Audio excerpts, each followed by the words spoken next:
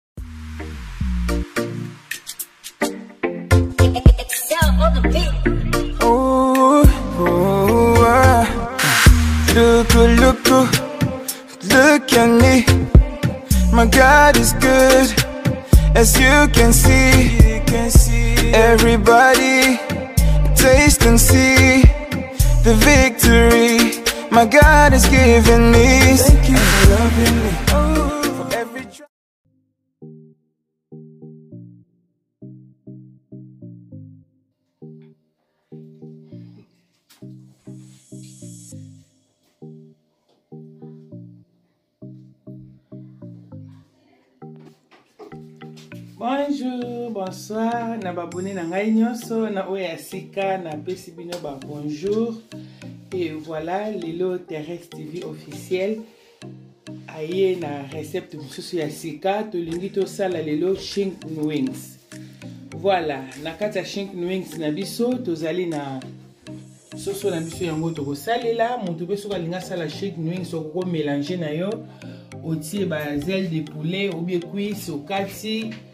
wana lelo ngai alingi nasala ka boye okosala bazele ozwi mpe na bacuise okatikati yango omélange mpo na kosala chicken wings na biso e na kati ya chicken wings na biso yango oyo tozomona oyo eza quelque sorte de eh, panier mel yango oyo awa mai oyo nasombaki yango na faux shop e, na bamagasin me basupermarché mosusu mpe eza nango mai sikonga na préférera na nga nalingaka vraimen mingi oyo parce que batia na baingredient nango na kati tokomona yango ndenge na kati exactement na losala mélange toza na posa ya aya epuis tokozala na posa ya, ya ai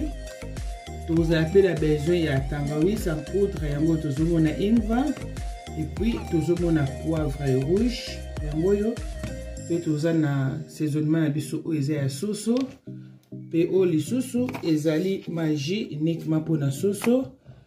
tokozala mpe na besoin ya moutarde na kati e tolingi tobanda sikoyo kosaisonne biloko na biso voilà bazele de poulet na biso na kosukola yango liso te si nasukolaki yango na kati awa peut-être bokomona natie mungwa te eza te mai natiaki deja mungwa nafandisaki yango deja awa na kati mpo mungwa ekota vraiment bien natiaki mingi te mai pour ke egarde epesa saveur moko ya bien na kati ya shake wings na biso voilà awa tozobanda deja ya kosaisonne oyo ezali cheke mingi na biso mpo biloko nyonso deja eza nango près mais juste kaka nalingi na natuta nde eh, natuta oyo eza kibe magi na biso mpo na na trampaki yango na mai te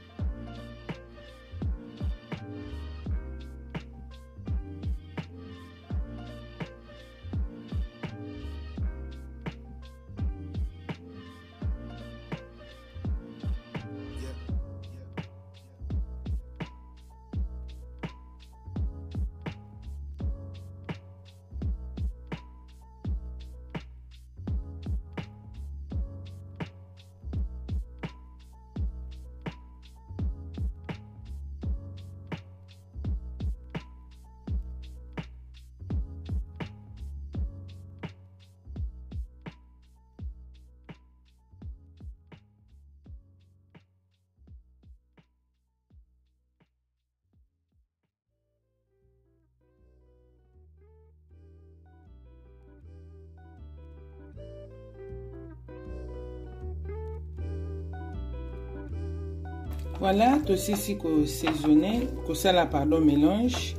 sikoyo tozotika na biso yango boye panda 3 heures à 4 heures de temps nde tolobaki mpo baingrédient na biso ekota vraiment bien voilà tozomona awa na kati ya poulet na biso ebimisi mai te tomoni ebimisi vraimen mai te mpo ntango nasukolaki yango nabandaki vraimen kokamola yango vraimen makasi mpo mai etika e, ebimisa vraimen mai te mpo poulet abimisaka mai nakamolaki yango vraimen makasi yango tozomona mati na se awa mai eza te mpo ekangama baingredient yango bien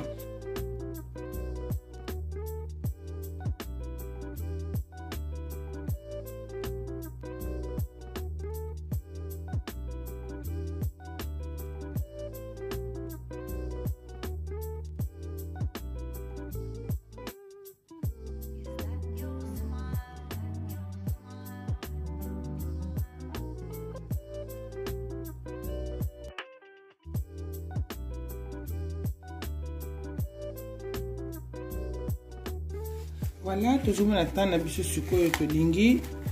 tobanda kokalinga oyo ezali shinwes na biso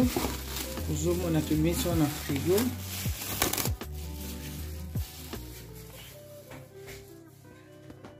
voilà nde tolobaki totiaki pilipili kuna te totie pima na kati te yango tongi tobanda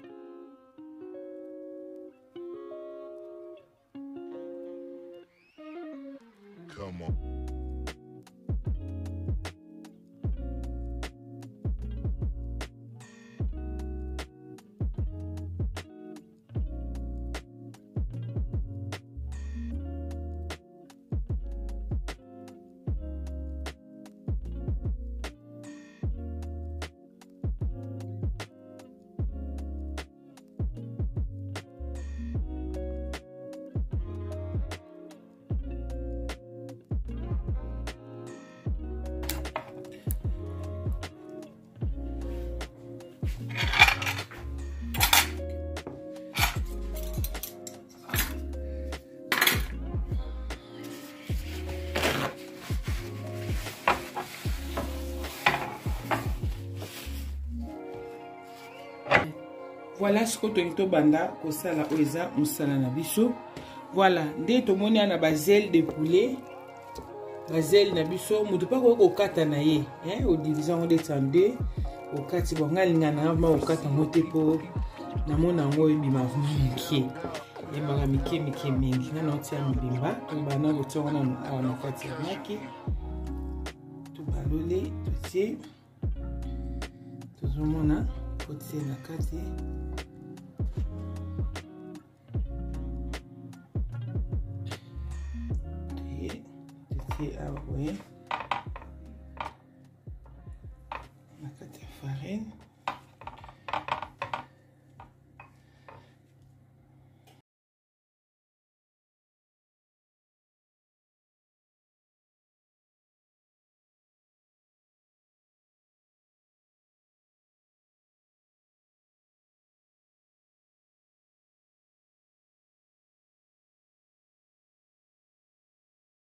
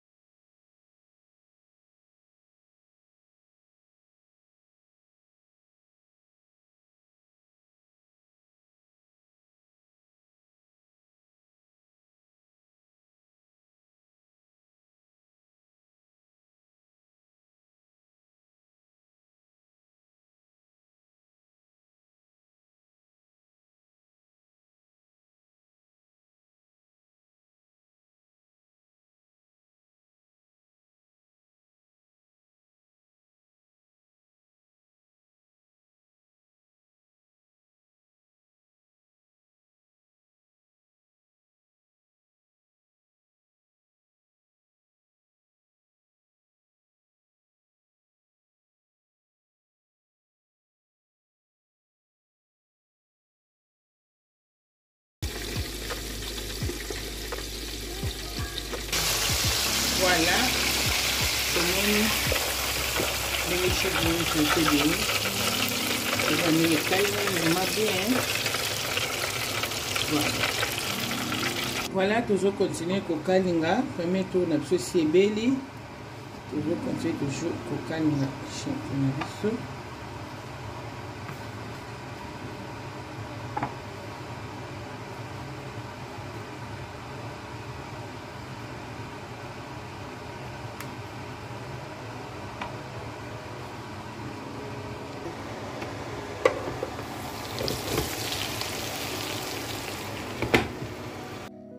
Voilà, tomoni shingi mingi na biso ebeli. Comment? Tozomona yango kaka na miso ndenge ebimi vraiment ebeli très bien.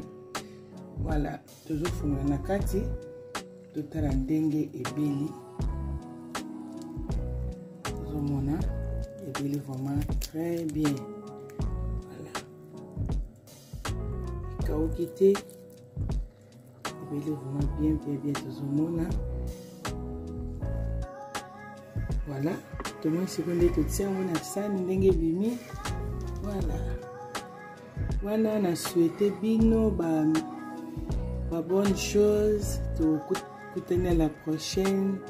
shing noins na biso yango oyo merci vraiment nazo ko remercier toujours bato bazozwa temps ya kosa bazwi temps na bango mpona kosabone oyo bazozwa temps ya kotala bafilme bavideo na ngai nzambe apambola bino vrama mingi tokutani na prochaine video babai